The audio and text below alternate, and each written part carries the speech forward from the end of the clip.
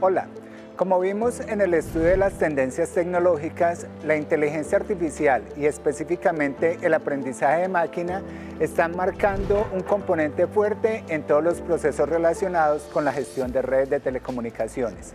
En esta clase vamos a ver las generalidades del aprendizaje de máquina y cómo los diferentes enfoques impactan en los procesos de gestión de las redes. En esta clase vamos a dar un recorrido general sobre el concepto de inteligencia artificial y algunas de las principales técnicas, particularmente relacionadas con aprendizaje de máquina, que nos sirven o que se utilizan dentro del entorno de la gestión de redes de telecomunicaciones. De esta forma, vamos a ver inicialmente el concepto de aprendizaje de máquina y posteriormente introduciremos los conceptos de aprendizaje supervisado, aprendizaje no supervisado, aprendizaje por refuerzo que está tomando eh, una gran relevancia hoy en día y finalmente el aprendizaje profundo o deep learning. Pero bueno, veamos qué es la inteligencia artificial o, el concepto de inteligencia artificial, cómo es entendido y de qué manera se relaciona con las diferentes tareas o técnicas que estamos aplicando en los procesos de gestión de redes de telecomunicaciones. Para empezar, es importante entender que la inteligencia artificial engloba una serie de tecnologías que lo que buscan es desarrollar programas de computación que tengan la capacidad de aprender y razonar como los humanos. En este orden de ideas, si nosotros analizamos eh, esa definición, vemos que hay dos características que son muy particulares de nosotros los seres humanos. El aprendizaje por un lado, pero también la posibilidad de razonar y tomar decisiones. Y aquí de pronto es donde empieza a marcarse una diferencia frente a lo que vivimos o tenemos hoy en día y lo que se espera que sea la inteligencia artificial. ¿Por qué? Porque resulta que los programas que hay actualmente, eh, si bien tienen la posibilidad de tomar ciertas decisiones de acuerdo al entrenamiento que se les dé, ellos obedecen un algoritmo que previamente se les ha programado, que un ser humano ha programado, y a partir de las directrices de ese algoritmo es que toman decisiones. Por eso es que la mayoría de técnicas que trabajamos actualmente caen más en la categoría de aprendizaje de máquina. Porque esos algoritmos de aprendizaje de máquina sí tienen la posibilidad de aprender a partir del procesamiento de gran cantidad de datos e ir mejorando con la experiencia, es decir, ir mejorando con el paso del tiempo y la información que ellos reciban. Y finalmente, la otra categoría o el otro tipo de, técnicas que se está utilizando eh, fuertemente actualmente es el relacionado con el aprendizaje profundo o deep learning, que se caracteriza por utilizar redes neuronales artificiales en esos procesos de toma de decisiones y eh, de aprender a partir de, la experiencia. De acuerdo con esto, eh, nosotros nos vamos a centrar en esto, en el aprendizaje de máquina como tal y las técnicas que vamos a ver en esta clase están enfocadas eh, precisamente a esa categoría. Pero bueno, ¿por qué es importante el aprendizaje de máquina y por qué ha tomado tanta fuerza en la actualidad? Resulta que en este momento histórico se han dado diferentes fenómenos que han propiciado que el aprendizaje de máquina coja tanta fuerza. Fenómenos como cuáles? Por un lado, el aumento en las capacidades de cómputo, es decir, hoy en día contamos con eh, computadores, servidores más potentes que tienen la posibilidad de procesar gran cantidad de, información Y por otro lado está la disponibilidad de esa gran cantidad de información. Diferentes dispositivos, diferentes comportamientos, diferentes interacciones generan datos y esos datos son los que aprovechan eh, los algoritmos de aprendizaje de máquina para mejorar eh, su desempeño en ciertas tareas. ¿Cuándo empleamos nosotros el aprendizaje de máquina o en qué escenario es útil el aprendizaje de máquina? Cuando la experiencia humana no existe en el desarrollo de esas tareas. Por ejemplo, navegar en Marte. Nosotros todavía no, los seres humanos no hemos llegado a Marte, pero sí tenemos la posibilidad de enviar máquinas para que exploren ese planeta y esa máquina debe tener unos algoritmos, debe tener una programación que le permita tomar decisiones a partir de lo que vaya encontrando y lo que vaya aprendiendo allá. Entonces, ese es un escenario en el que el aprendizaje de máquina es muy útil.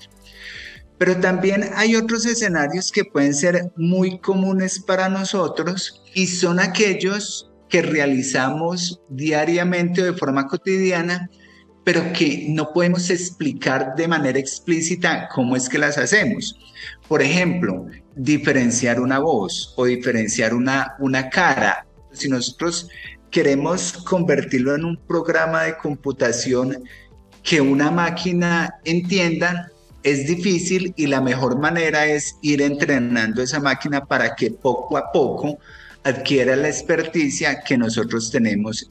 El otro ejemplo o escenario de aplicación son aquellos donde la solución y las características del entorno cambian constantemente. Y aquí si vemos un problema muy eh, de nuestro campo del conocimiento, el enrutamiento de la información. Resulta que ustedes saben que en una red de datos eh, las características del tráfico de la red varían constantemente y esa variación hace eh, que la disponibilidad de los enlaces, que las capacidades cambie y se requiera tomar decisiones rápidas, decisiones oportunas de acuerdo a todas esas condiciones y restricciones del entorno que permitan cumplir con eh, eh, la finalidad de servicio que se está prestando. Entonces, en ese tipo de tareas tan complejas, con un ambiente cambiante, el aprendizaje de máquina es muy útil.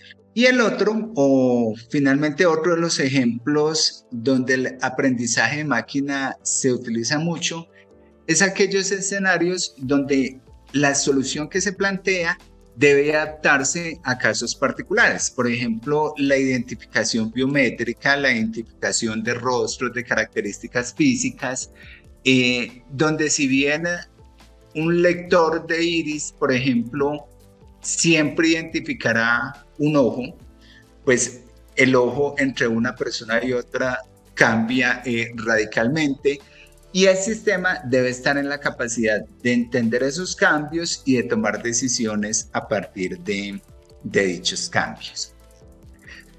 Teniendo en cuenta lo anterior, vamos a ver entonces cuál es la definición formal de aprendizaje de máquina.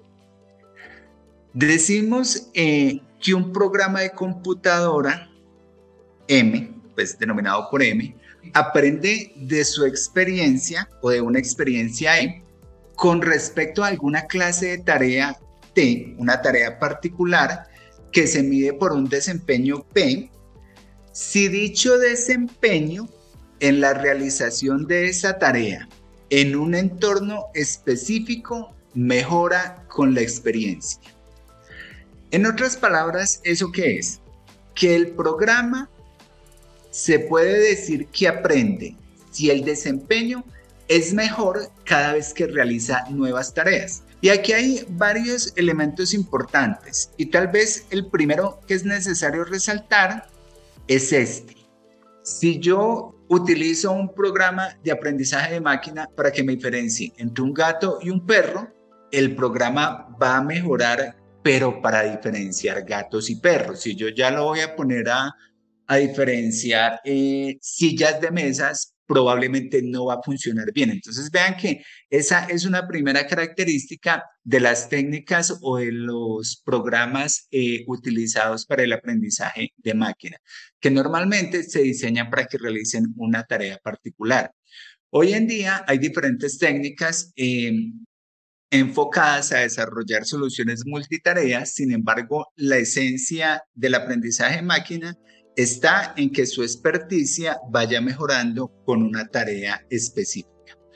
Un ejemplo es el diagnóstico del cáncer o, el diagnóstico de, una enfermedad eh, en particular, el cual se realiza a partir de el conjunto de casos diagnosticados. Esa, esa es la, experiencia, los diagnósticos eh, previos que se tengan y los nuevos diagnósticos. ¿Y cómo se mide el desempeño de ese programa? Pues obviamente con la precisión eh, que tenga en diagnosticar nuevos casos. Si yo le entrego un caso nuevo, el uh, algoritmo, el programa de, de aprendizaje de máquina, eh, me debe decir si esas características de ese nuevo caso dan para un diagnóstico positivo o para un diagnóstico negativo.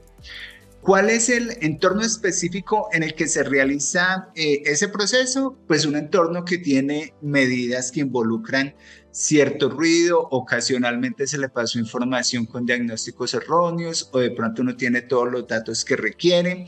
Eso también es, es importante tenerlo en cuenta porque el programa no va a trabajar en un entorno ideal, sino que está en un entorno eh, limitado. Esta gráfica ilustra eh, todo el concepto. Hay unos ciclos de realimentación donde los datos y la información que le entregamos al sistema eh, se nutren con la experiencia y de ese aprendizaje el sistema genera una nueva respuesta, un nuevo diagnóstico. Lo ideal es que ese diagnóstico cada vez sea mejor. El sistema, a medida que recibe un nuevo caso, que se le realimenta la experiencia, debe ir mejorando y debe ir aumentando su nivel de confiabilidad. De esa manera es que se aplica el principio de aprendizaje máquina en las diferentes soluciones que se desarrollan. Pero bueno, particularmente en nuestro entorno de, gestión de redes de telecomunicaciones, ¿por qué se ha vuelto tan relevante? Porque alguna, si no la mayoría de las tareas que nosotros realizamos son muy difíciles de programar y sobrepasan las capacidades de los seres humanos. Es decir, nuestra capacidad como ingenieros debe estar enfocada a desarrollar soluciones o desarrollar técnicas, o en este caso, aplicar técnicas de aprendizaje de máquina que den respuesta a esa problemática tan compleja. Pero el análisis, eh, el conocimiento del entorno y la generación de la mejor respuesta va a estar a cargo de ese programa eh, de aprendizaje de máquina. En la gráfica eh, vemos el ejemplo de lo que sería una red vehicular, una BANET, donde los vehículos se comunican entre ellos. El vehículo también debe estar pendiente de las señales que recuperan sus sensores, debe escoger la mejor trayectoria. Probablemente desde la infraestructura que esté eh, disponible a borde de carretera se estén enviando también informaciones a los diferentes vehículos y como es un entorno de, alta velocidad y bajo tiempo de respuesta, se requieren sistemas que rápidamente tomen la mejor decisión, la mejor decisión en cuanto a la ruta que debo seguir, en cuanto al carril eh, al que debo cambiar, la distancia que debo tener con los demás vehículos, que frene en los tiempos adecuados. Vean que todas estas decisiones sobrepasan el nivel de reacción de un ser humano promedio y por eso lo que hacemos nosotros es diseñar sistemas de gestión que estén en la capacidad de aprovechar ese gran recurso computacional que hoy en día y tomar decisiones en los tiempos más adecuados. Dicho esto, vamos a ver entonces cuáles son eh, los tipos o las principales categorías de aprendizaje de máquina. Hoy en día, pues han aparecido muchas técnicas, cada una busca solucionar problemas particulares, pero desde el punto de vista clásico, nosotros hablaremos de aprendizaje supervisado, aprendizaje no supervisado y aprendizaje por refuerzo. Y dentro del aprendizaje supervisado hay dos tareas que se realizan, eh, la clasificación y la regresión. Vamos a ver en qué consisten cada uno de esos tipos de aprendizaje de máquina. El aprendizaje supervisado se caracteriza porque el algoritmo utiliza un conjunto de datos que tiene una estructura previamente definida. Es decir, yo tengo un, un dataset o una base de datos donde esos datos tienen unas características y hay ciertos datos o ciertas características de esas que es la que me interesa para diferenciar un elemento de otro elemento. En la gráfica podemos ver que el algoritmo lo que hace es recibir esos datos y a partir de un proceso de entrenamiento, él tiene ya la capacidad de tomar una decisión. Esa decisión va a depender de la tarea para la que yo lo esté entrenando. En ese orden de ideas, la primera clasificación, en otras palabras, es seleccionar de esos datos que le están llegando al algoritmo si una nueva entrada pertenece al grupo círculo o pertenece al grupo cuadrado. ¿Qué es esto o cómo se realiza este proceso mejor? Resulta que inicialmente yo tengo unos, unos datos de entrenamiento que son estos que vemos a la izquierda y como estamos en aprendizaje supervisado, esos datos ya tienen una estructura. Entonces, los datos que yo le entrego al algoritmo van a tener unas características de color, de forma y al final van a tener una etiqueta que dice los que tengan estas características son un círculo. Y otra categoría con unas características diferentes que al final dice los de estas características son un cuadrado. Un ejemplo eh, de clasificación es el reconocimiento eh, de caras. Yo tengo diferentes fotos y el algoritmo lo que me dice, por ejemplo, es, ah, esta foto es de Luis Alejandro o esta foto cae dentro de una categoría diferente de otras de las personas que son muy amigas eh, de Luis Alejandro. Entonces, vean que ahí lo que se está tomando es un conjunto de imágenes que se utilizan para, en este caso, probar que el algoritmo tenga la capacidad de reconocer a la persona objetivo. Pero previamente yo el sistema tuve que entrenarlo con muchas fotos de la persona que deseo identificar. Eh, si de pronto alguno de ustedes utiliza Google Fotos, a veces cuando uno entra a Google Fotos y le dice, ay, ayúdame a mejorar, dime si la persona que aparece en esta imagen es Pepito Pérez. Entonces uno le dice, sí, sí es, no es, no es.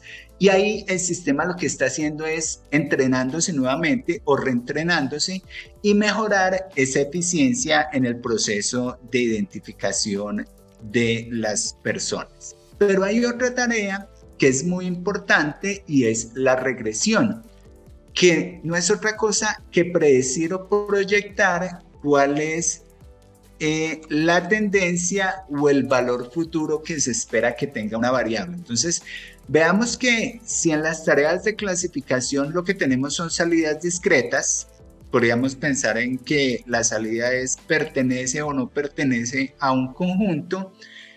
En este caso, lo que buscamos obtener es la continuidad de una tendencia y los valores que puede tener a futuro.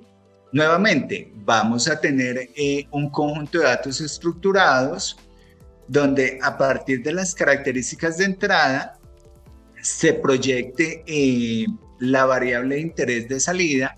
El ejemplo típico que, que, manejamos acá es el comportamiento del precio de las casas a lo largo de, la historia. Entonces, las casas de tantos metros, tantos pisos, tantos años de antigüedad tienen un precio más o menos estimado de tanto. Y lo que se busca es hacer eh, la proyección de cuánto costaría una nueva casa que entre al mercado. Eso en cuanto al aprendizaje supervisado. La otra gran categoría que veíamos dentro de las técnicas clásicas de aprendizaje en máquina es el aprendizaje no supervisado. ¿Cuál es la diferencia? La diferencia es que en este caso el dataset o el conjunto de datos que le estamos entregando al algoritmo no cuentan con una clasificación previa que le permitan a él entender qué tarea es la que tiene que realizar. O en otras palabras, no disponemos de un conocimiento previo que nos permita entrenar ese modelo. Entonces, ¿qué es lo que buscamos ahí? Lo que buscamos ahí son algoritmos que hagan agrupaciones a partir de características que identifiquen dentro de este gran conjunto de datos.